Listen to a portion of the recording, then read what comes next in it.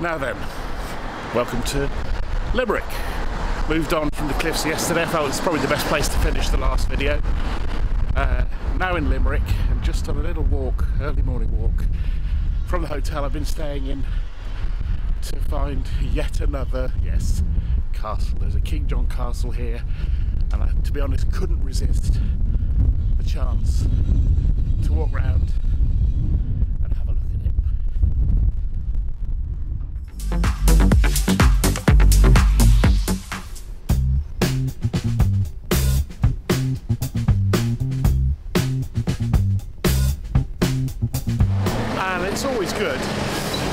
to tick off another cathedral on the way there.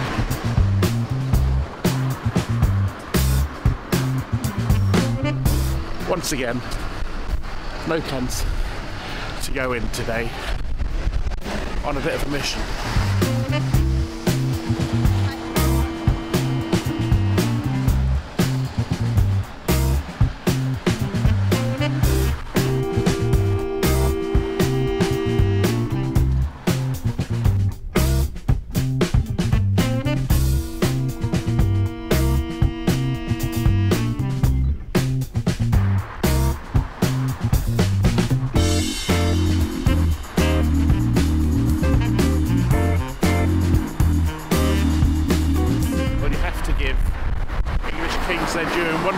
Very least. They always knew where to build their castles.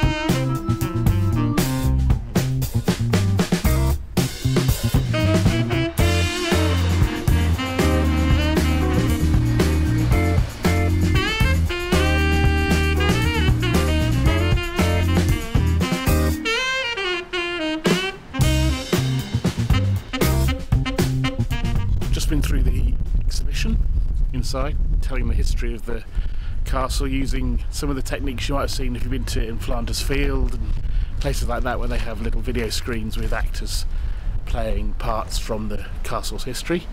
And now just going inside to have a look at the uh, the remains of King John's castle.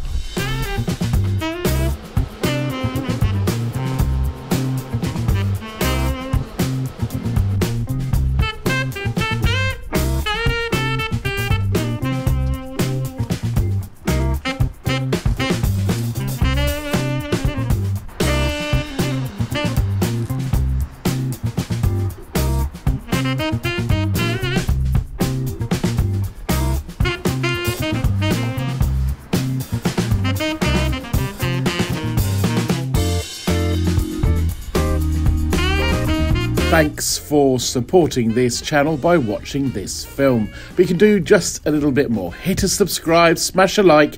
Next up on this road trip, we're off to the Rock of Cashel.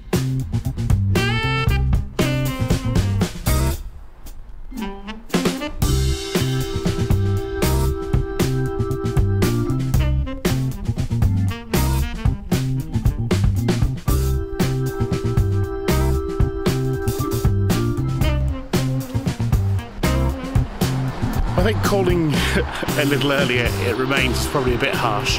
Um, a lot of the walls do survive, but also the team here have made a virtue of the fact that some of it isn't here, and clearly a lot of archaeological work has gone on. And underneath, when you walk through, uh, you can see some of the old walls and some of the old parts that would have remained hidden, maybe, if the full castle had been here. But uh, it's a really good job, and if you're a somebody likes to get to castles, I'd certainly recommend this one as one to do because you have glorious views like this across the countryside.